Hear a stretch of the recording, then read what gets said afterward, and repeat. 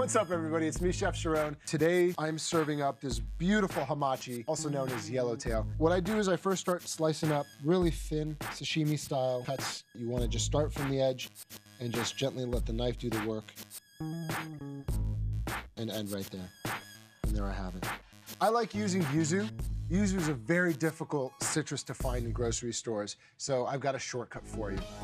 I make my own little yuzu blend. Orange, I have a Meyer lemon, which is a sweeter lemon, and I have a plain old traditional lemon. So all these three citruses are gonna get combined.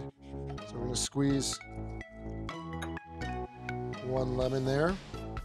Got my Meyer lemon. Last but not least, our orange. And so you've got that sharp acidity from the traditional lemon, but some sweetness from the orange. It's on point, it's perfect. And I'm gonna start working on my garnishes. I've got some kumquats. Perfect, set that aside. A little Fresno chili. It's gonna add a little bit of kick. If you don't like spicy, just leave it out. So there's our Fresnos.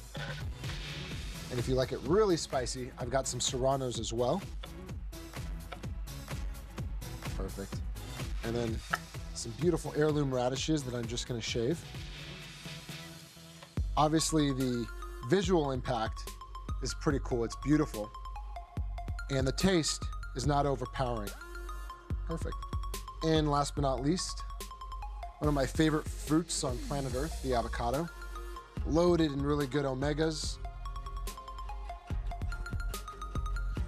And how I cut my avocado is I cut it in half. And then instead of scooping it out and dealing with that, I just cut it in cubes. And then I go for the scoop. And I've got beautifully cut up avocado, just the size I want. All right.